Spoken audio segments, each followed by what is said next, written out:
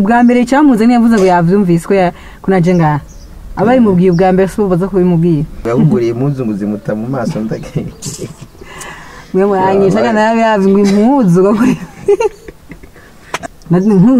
nkawe uciye wihaye imaje ndabona ndizigumana bwa ndazikoze yari yabonye ko atamuzi yagukoze Mm, ntaza afise reka nje kuzimugurira. Deja ngana kunsuzugura abakobwa kasuzugura ngo Ma- hari ibindi bintu umukobwa ashobora kugirira umuhungu? Ukumengo gaturaba n'umusore mwiza afise inguvu me inguvu zose ntashobora kuzikora ahubwo aguhonde. Umviriza we ntubone we ntubone generasi tugezemwo uza gukubita umuntu utafite. Abakobwa musige mufata na- mufata nabi abahungu gutya. Sikubafata amubona akaza araguma aza basundura basundura basundura gusa atari urukundo abahereza ngo ariko arabarenganya. Cyari bibaze nk'ibi muri ko aragira umwana w'abandi ntibikora umuntu arwaye akomeye mu mutwe andiko aragwaye nimba ari umugunwa w'isirayeli ndagusavye nta mwanya mfise wo gutagaza mu ibarabara nimba wowe wumva ko wihimbye ugende wimene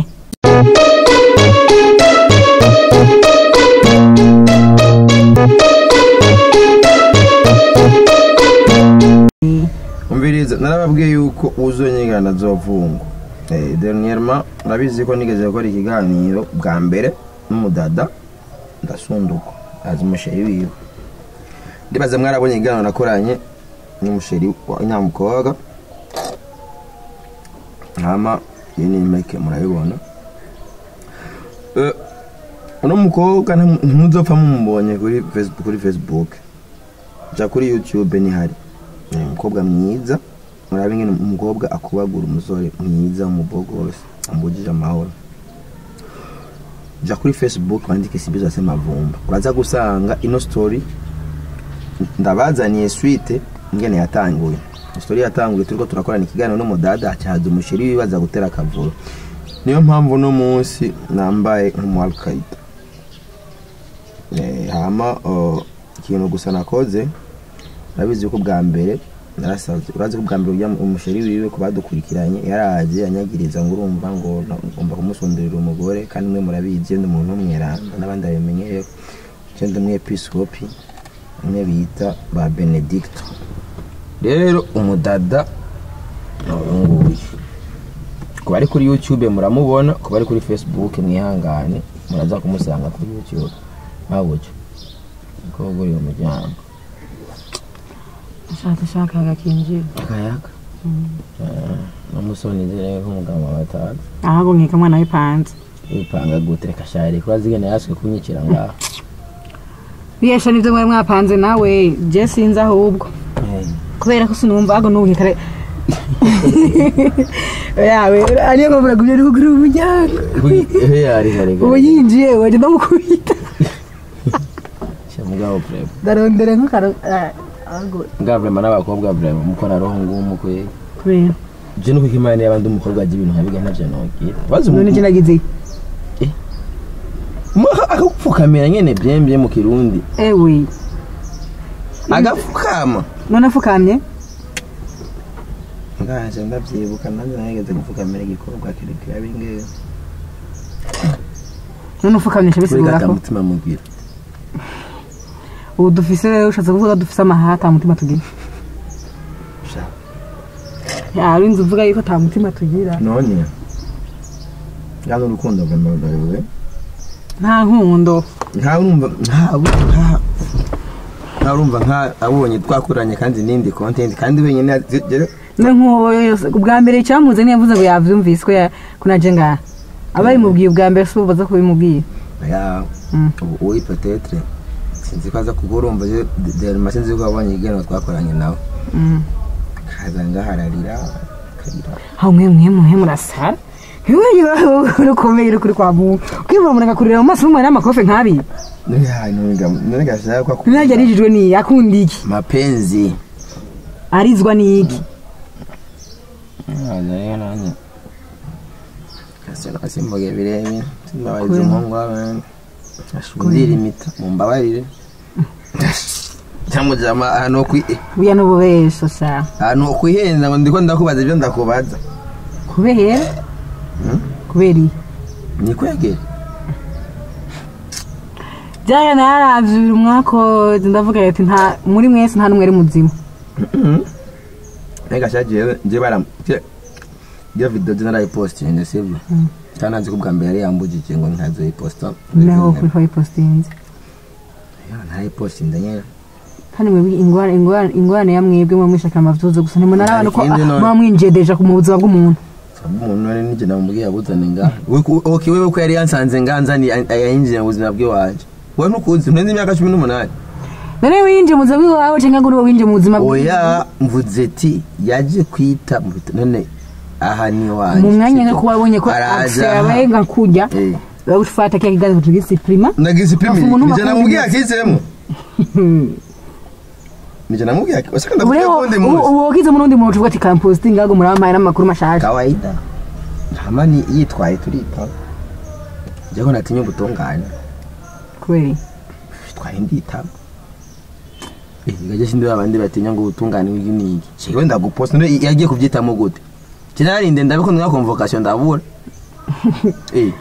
Ariko iyo convocation none tudahendanya ntiyatwitayemo none. Bijya n'ivyo yari yaritayemwe mugabo we- rero wagize niyo kutugipostinga O- iyahe kugiposta erere irimo ni hehe? None n'ubundi hari hari umwanya n'abandi bantu. Rindi raba umwanya wa- wamaze unatoka uvuye uva gushika uze ngaha. Hama mwiganiro gice gipfa. Ubwo cari gupfa ni nk'uko wari kushuro kwamba kwamba ko ntwari uzi porogaramu yiwanje ucugaruka kandi ashagaruka kandi. Oya we nategerezwa kubiposta kugira ibintu bije ku mugaragaro. Abantu babimenye. Ubu rero mushaka ko n'umuntu amenye ubuzima bw'undi muntu. None mu nyuma nabonye ko wenyine twayaze kandi tuyaga neza. Naho naho yigumuye igano kitarahera. Ngo yawuguriye impuzu ngo zimuta mu maso ndagenge mwe mwanyisha kandi nawe ngo impuzu ariko nyine umuntu?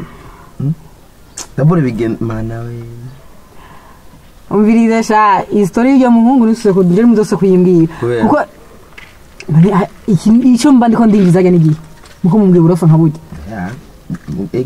Ah, ah, nimba We na- ubona na- basi nimba we ubona na- ko na- iri na- gato eh. ko ufite amasantima yo kumuhanagura y'amarira azoza arira akwiganira inkuru yose ukuntu yagenze arira uca umuhanagura amarira umuhuza. Nimba bishoboka unamubera n'uwo mukobwa. Ndamubera umukobwa none? None. Ingorane hari n'umuntu ibintu by'urukundo mbengo birayobeye.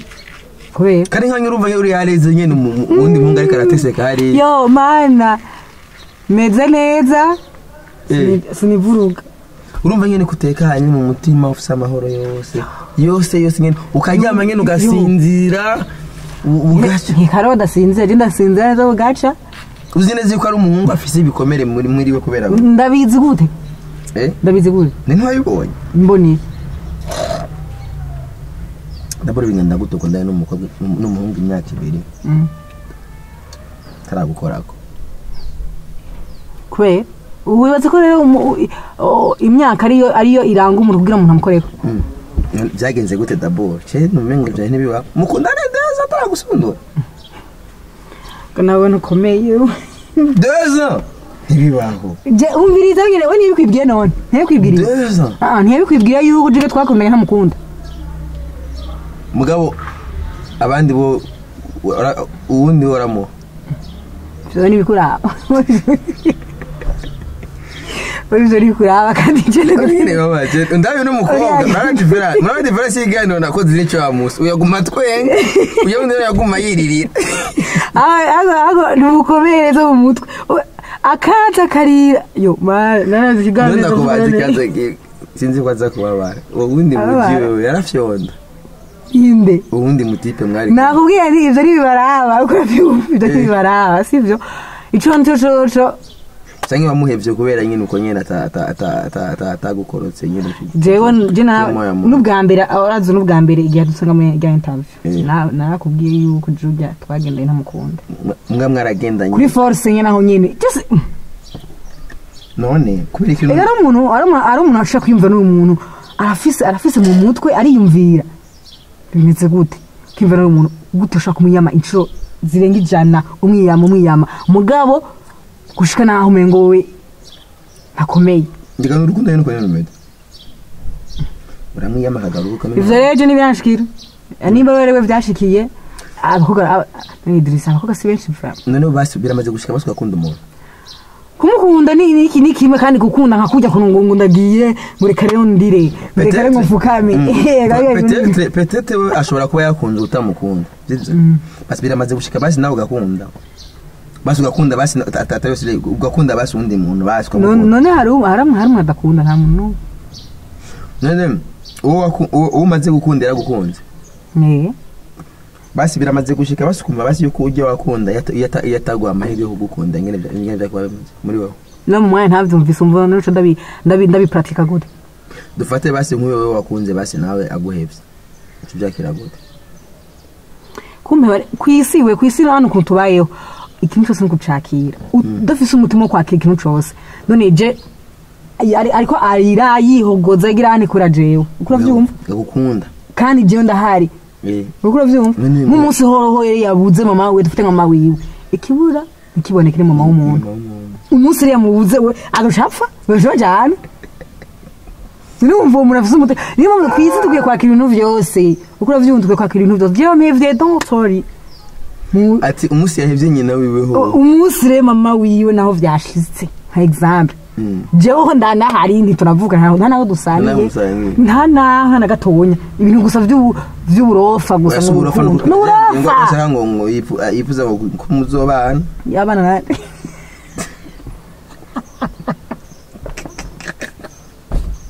ariko buriya bifite bwari muri ngo yari komedi gusa ngo ngo tubana eh umubera parere mungu wangu we. Hange urumva nke buri yareze. Ye ahubwo birarangiye ngo. None basi none mwankira iki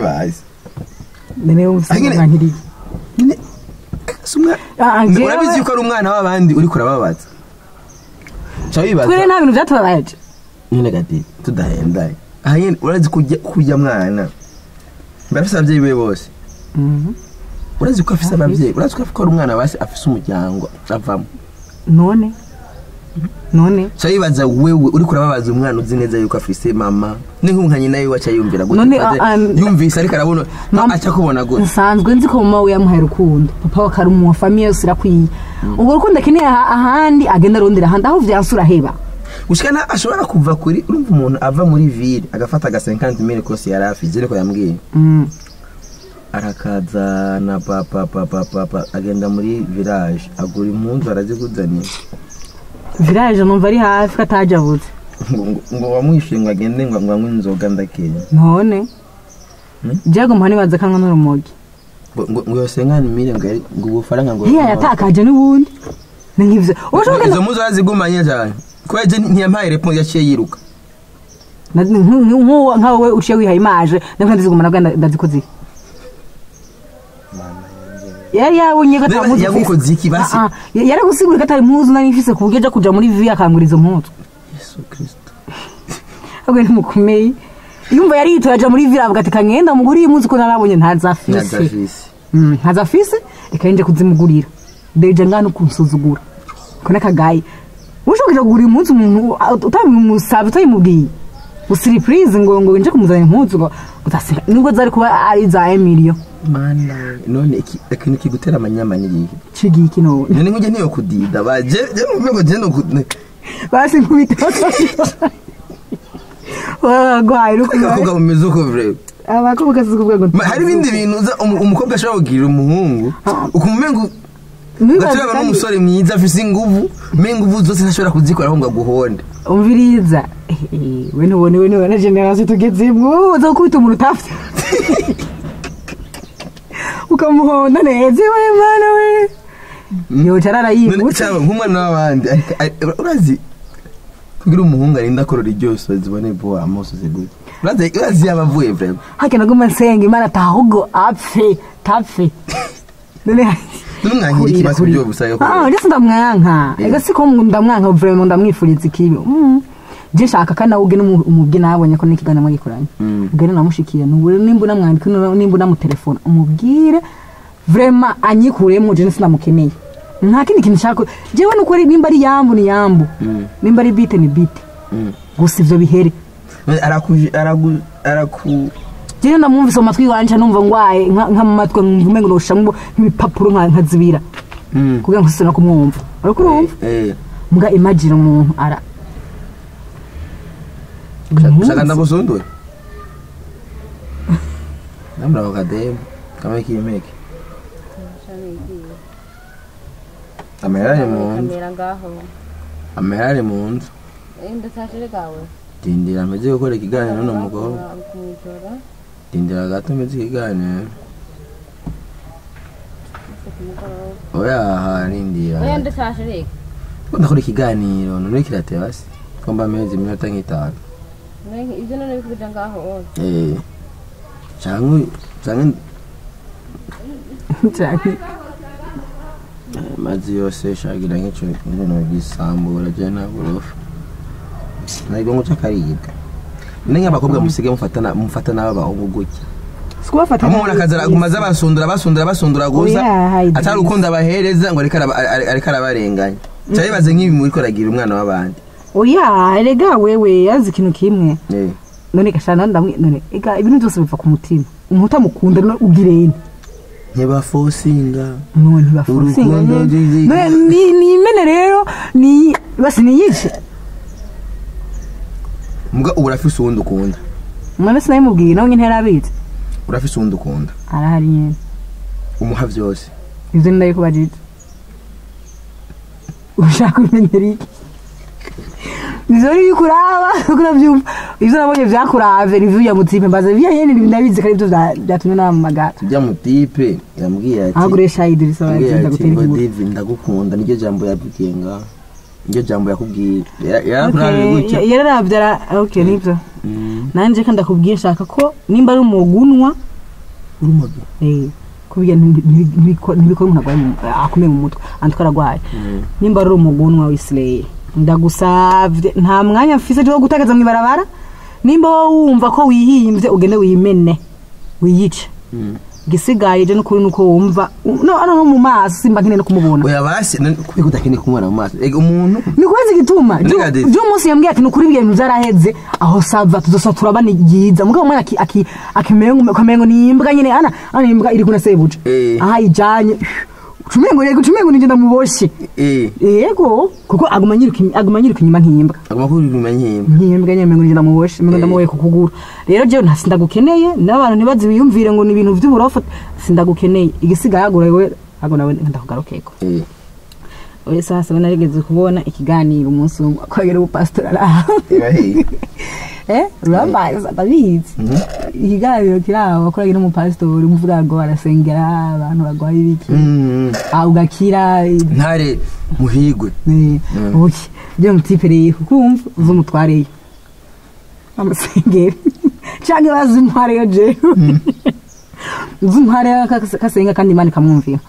Umva ni we muntu wa mbere nabonye nganyaruka kumvirwa cyane. Uzi ntwareyo jewe ansengera n'abantu ansenge kuko njya guhunga mve nyuma cyangwa asengere ah, nimba ari ikintu kimuri mu maso kimuveko ah, ashobora kubona ko hari n'abandi bakunda. Telefone nturakunda wowe nawe uvuga ko nawe ni uko imana urakunda izina ry'imana urakunda noneho ushaka basigaye ugafata utarakunda ntushobora gutahura isi yarimwe oya none basi ah, azi iyo si arimo rero iyo si arimo siyo turimo twebwe kino gihe.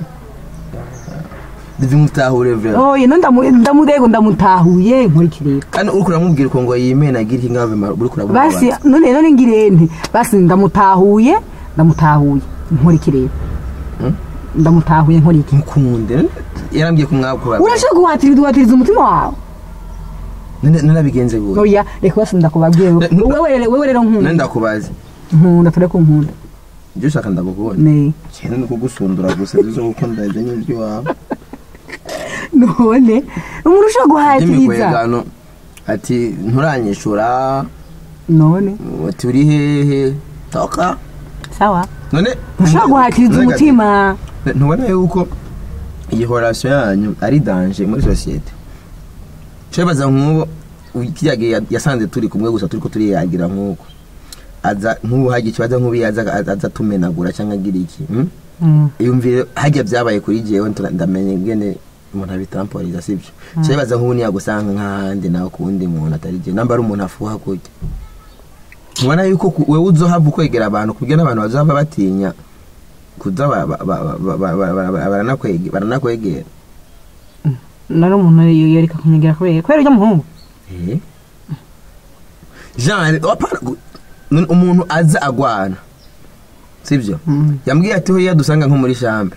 Mm. dufate nk'urashobora kuba ugiye nko gutura nk'akantu mu nzu sibyo par exemple. Akadusanga yavuga ati umwe muri twebwe yohasigara numva yuko uca badanje muri sosiyete ahubwo uraziye kubera kubera uko. Mm. nga ndamuhe na gasopo anavyumva nawe nyine. Eh. nimba zona kiraga azokiraba ko ndaku- ndabizi ara- aragukurikirana. Uka yo mana ivyo yakoze ngaha. Bijya ni vya mbere ni rya mbere ndabibonye kandi bebe ni rya nyuma. Kuko nsubiye kubibona. Azora yinjira agasho ushobora kuzoyibona ega wari decide niko gukunda gasha ndabifata fanya c'est umuhungu wese akubonana. Acibaze ko dukundana. Nkujya munsi yaje ngahazi yuko tugomba tubwire moya moya cyabaza nk'ubu yazera dusanga turi muri moya moya cyangwa nk'ubu yaca dusanga ngaha wagarutse. Wega wenda ndazi ko jesi nomwirerera ko no kuwe? Eh. Oya oya vrema kandi n'ikindi kintu. Vrema mm, ashaka nimba akeneye amahoro andeke ashaka naho haba urwanko mm, abandanye. Abibandanye niba uzosha bigenza gute? Abibandanye uzosha bigenza gute noneho? Adurafungwa niwibaza amaherezo ni hehe mugasho. Kuko intumva zibonera mugasho. Eh je ndamwitwara gute umuntu atumva? Mba nzi ko nkenera amahoro jewe. Kuma bintwaye rero mumamira agomba afungishe dore ukabandi bafungisha babapostinze we rero umufungisha umuntu kubera- bijya sha. ari ubwo umufungisha umuntu kubera gukunda. Wowe uzi gute kankunda ubizi gute? Ati, umutima kandi- wereka kandi sha. yarambwiye. kubera ikintu cya mbere umuntu udenye umuhungu aronderera umukobwa. Ni moya mbiri ni we yarambwiye ati sijya ati no mu myaka ibiri jye sinigenda mukaga jye nifuza nzomubone nzobona ubwambure bwa divine tubana. Wumva icya mbere si cyakurondera ntarondera umubiri wawe. None icyo kindi kintu cyotuma uvuga uti ntagukunda. Shayi vrema semeshe ukwe mupende ntazukora ko nano nahama umvite shayi dirisi je Eh. pana kumatiriza ibintu nimba ari vyo nagutumye nimba ari ayo diri ufise sindamukunda nta na gatonya nta kigongo ikigongo ciki Oya nta kigongo mu rukundo nta kigongo bike none wumva? Ndamugira ikigongo ciki niba hano nsanzwe ndamubesha n'ubundi rero wayikoze ubwa mbere kumwemerera urakubera kiriya gihe iyo mutamarana deux ans ndabyumva kandi byose ni we wabikoze nabikoze gute? Ni ukuvuga imana basihanura ba- bivanye n'ibyo mwakinnye basihanura basi n'abandi bakobwa basi abandi bakobwa bahadikiriza urukundo ugasanga agiye mu bintu umuhungu agasigara agenda guteseka kandi bitari ngombwa yuko abijamo. Ngo urumva ko niyerere ari we yayinkoresheje. Kandi umara Wamwemereye n'ubu n'ubu niba ha? ni we wamwemereye kubera ko yamwemereye. Njye nawe naho nyene sinzago n'ukuntu vya nimba yari yampaye ibiki ntumbaza naho nyene nahande wovuga nti ntumunwa. Ana guta umuntu gutumwa kugira urabe ko umuntu yokuva inyuma gusa. Mm. mu gatondo muhira apremidi muhira iki muhira. Byose hehe naho ngiye eh, apana ibi? Jya mu ngaragwaye mu mutu uzo murangira ujya mu pastora musengera umusenge ariko ntazosengere jewe ko nta ngorane ngira. Zose azo- azoca aza gusengera we arabe ko ibyo bintu bitamuvamo. Nimba ari ikintu kimufuse mu maso ahumuke abone ko hari abandi bantu. Atari divine wenyine. Yo ni benshi! Igitabuze bari none mu bitoki. muri iyo myaka ibiri basi yavuga yuko yuko yagukundiye kugira basi yumve yuko urundi mukobwa ameze nka divine. Ivyo na cyo ndabizi sike ndubimubaza Nuko atagusundiye umuntu avuga wowe ufise ikiziba kandi rero nawe uramusigura kandi nzobiyeba no kuri rwawe kubera? Kubera ko hari ushobora kuvuga imbere y'umuntu arakomeye mu mutwe. Nawe uri mu kugwara. Mm. nawe uzomera nkawe gute icyo narakibaye oya icyo narakiniye ipica byarahetse. Ibico ziye. Mm. Niba abakobwa mwebwe imana ibahariye no kuba niyo mpamvu ubona uko basunzura n'ibara ariko parike nzomuhanura Mm. umuntu yari yaranje kurya urumva impanuro nzomuha iyo nta kintu bigenze gute ago agoye mu mutwe wonyene ahubwo uramubwire ase no gutumbera ku rupangu iwacu. ega byo kunda kubera abakobwa abakobwa abakobwa ubu ntimugikunda. Ni ukuri biva ku kintu. Oya si si ngurane yo uvuga ngo avuga tura- ntibishaka kurongorwa. Kubera? umugambi mwiza. Kubera? Ntibishaka kurongorwa. Abakobwa bubu bishakira kubyara gusa. Urazi ko hari umukobwa akubwira ati nshaka gusa umuntu yontera indahama mbyare tuhama basi. Afu bishiye apo bashobora batwara ko abandi bose bameze. Wewe nuko ko abakobwa mumeze uko ibyo si ntibindaba. Mbo nturabyara birabira abandi ibyo ntibindaba. Wowe nturabyara Iyi ni kesi y'iwanje uri kubaza ibyo bibazo? Ndakubaza to iyo ni vivurive y'umuntu. Eh Eh, abakobwa bo basigaye bago n'urukundo rwagiye. Rwagiye he? Rurahari rurahari. Mugabo! Profita aba peti bakiri ofise. Bora uzavura n'ibisamba ure na bamavumba. Benye batakupenda bahusundure gusa filime yishe mugire uri uri uri uri uri uribuza umwana agifise uwo mutima. Wewe uje nakubajije kandi ni cyo kibazo nguma ndasura kandi kukubaza. Eh. ubu umuntu jewe nkunda uwundi nda- ndabakunda ari bose. Ndakugeranya Basi, nakanya basi na gato ndamuha akanya akanya ntakungira. Ndakamwe ndagakuye. Umuntu uri mu mutima tu raba nta rufumo ntibirashika uka- ukurira muri bisi basi yuzuye bakaca bagusondeka oya ya bro biramba ko jewe arakomerewe rero oya ikintu kimwe navyikuremo vrema anywa amazi menshi aruhuke anywa amazi menshi aca aruhuka cyaturi umubi ibyo guturuka uri bubivutse anywa amazi menshi aruhuke ukavyumva aruhuke. Hama bizohera bizohera kandi asenge cane none Asenge ndamu cane. asenge vrema kuko ahantu twari yarinjiwe n'amadayimoni. Ko sindavyumva sindavyumva reka ni ho sindabitahura. Ndivi ndetse kukubesha Aba- abantu bagifise umutima wo gukunda baraharuye. Kandi uno mwana uno ujya muhungu uri kuramwica. Urazi- ingorane zo guteye ngaho ndivi kandi ndakubwije ukuri kandi uzo- uzoze no kumpenyuza byamuze mu cya baruronona kubera ufite hagiye ikintu umaze kubona cyo mu buzima umuntu akunda rimwe. Nambe yarakunze wewe. Sitadiri ngaho abakobwa bose azoziboramo ubuhemu. Nta- ntazoca babonamo ubuhemu. Kubera atinya gukunda. Avuga ati hamwe nufata uno muntu nkamushyira ku mutima wanjye asangira nka divine.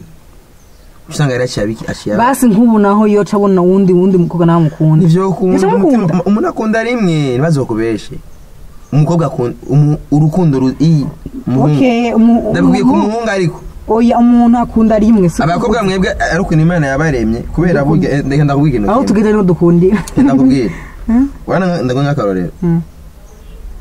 umukobwa arinze aryamana n'umuhungu par exemple. Sibyo Hmm. biba bivuye ku mutima. Kenshi. Hmm. sibyo Hmm. Mugabo umuhungu kuryamana n'umukobwa. Sicyo kimwe n'umukobwa kuryamana n'umuhungu.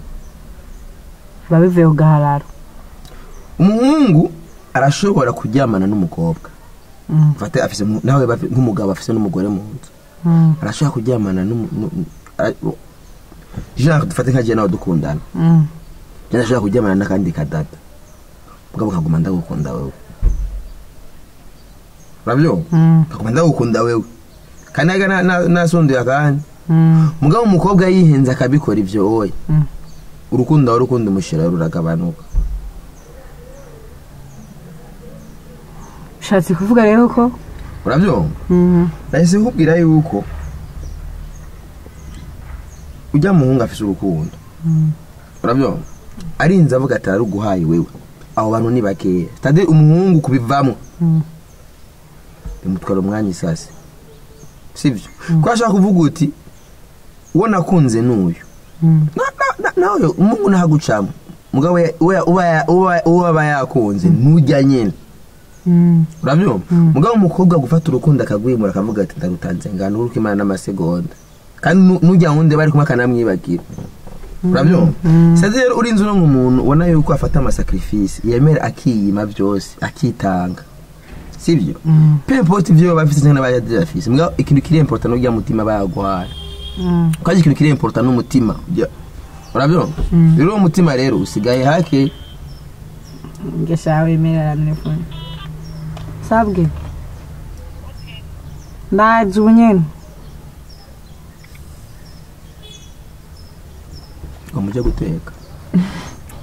Oya ntabwo tukatujaye urumvaga diva umwana wa mama.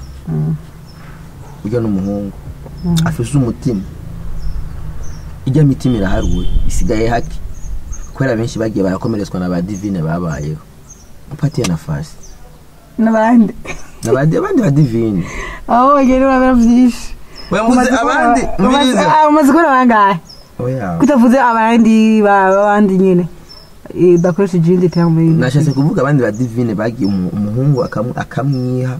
Akereza umukobwa cyangwa umukobwa akamufata minenegwe jewe inyishu natanje atanze ko ibi ntavyumvamo simba ndavyumvamo gerageza kandi umwanya sinshobora guhatira sinshobora gerageza gerageza. Wowe sinshobora ahubwo wowe nagenda hatiriza bikuremo kuko utamuhanuye ati ura- uramuheba. Ahanyine kubera bazoba bibi natasara. Urwo rukundo narwa rwo gusara mbiriza biramusha. Ndabikubwiye ubwana bw'abandi rero. Biramusha biramusha. Ivyo vyo ntibindaba. Sawa. Nta nta na gato yavama ntibindaba. Icyo ni cyo cyoco ni uko Mm, namubwiye. Mm. akeneye amahoro. Agende ace nk'umurangi ujya mu amusengere. Adashaka kwicara hamwe ngo avyikuremwo arondera abantu bamusengere bihere bizohera. Ata, ibyo ni ubwa mbere nkunda ibiganiro nk'ibyo ukora ibi- murume ngo naruhishije abantu. Nawe baje wanduhishije no mu mutwe. Urusha tubaje kurusha jewe ntabwo nje waruhije ko rumva numva no mu mutwe aragera numva ko ibintu binkamanye kuvuga. Kubera ko wowe idiri ugiye waraririye.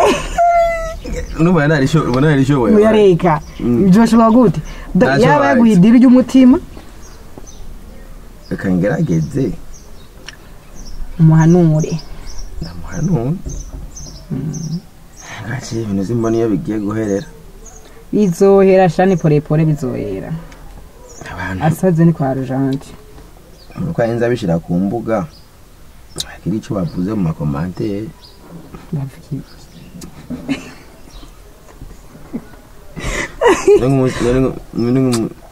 abo ruvangiwe buri munsi wayacanye n'ipica muri ko muratukini ibishiza aho mwebwe ahubwo azi gutuma jago biriko birangiye irindira gato cyane numviriza divi jewe jewe sinkunda abantu baza kungena amapica ega umviriza ko ipica ya mbere ni wewe nawe kuko ibintu muri ko murakora ntibitahuritse kuko umuntu aza kuguza aka- akarira. Ngo urafata igikara bagishyira kuri rezo sose ariko ararira ngo yamuriye umunsi abatipe siga bagura aba- abakobwa kubera ko atazo baba bafise kandi namutuye ikibazo tugerereye iyi mpuzu na yo nkene ntayo ntayo ntayo ntayo ndayishaka ayo ntayo yoma yo. Mubwire ibintu ibintu urinze wituma wenyene yamwirarika yabuze namba yabuze impembo ahembwa amahiri ndakenya Eh, aha so none haramuno si sinzi ko byabatakarije abantu umwanya.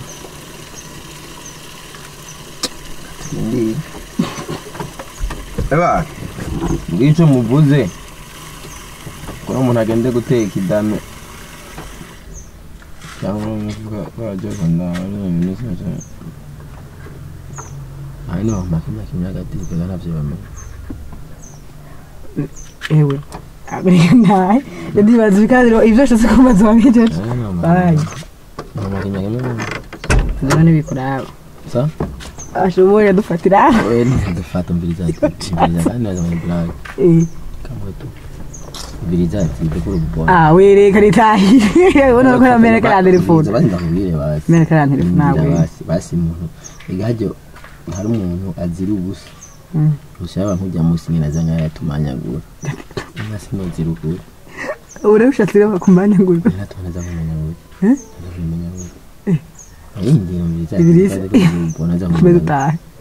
kantahe ayindi ntagende basugende basumaye kamwe muraza kubimenya none se mviriza Twobeye umutwe. aha kuntu wenda sha nitahira nabiri birimo nuko yantwenze ujya munsi umuntu agomba azira gusa gufa umuzira ibyo wariye niyo yigeze gukora ko wewe nari mpayibonye nta kintu nanjye ko ari mbaye mbaye Fumu- basi fumubizira moya mbiri.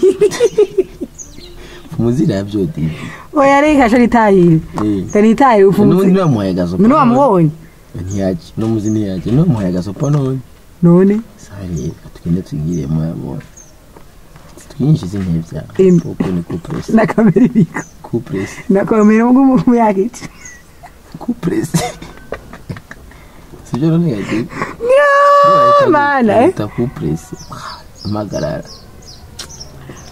we umviriza sha Eh, umviriza neza ibyo si bisanzwe none kubanda mugani wazi ko tutari muri kamera kubera iki niyo so tutari mwiza reka rero mbaga tugenda ngira moya moya niyo tutari tutari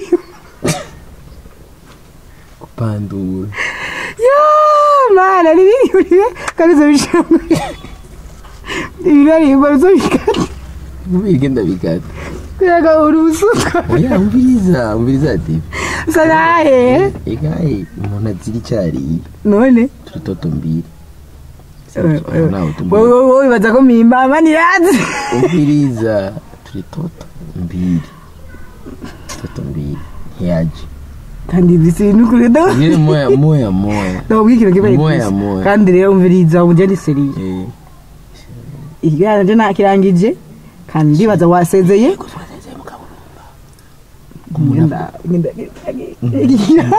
Biriza umuntu azire azire ukuri.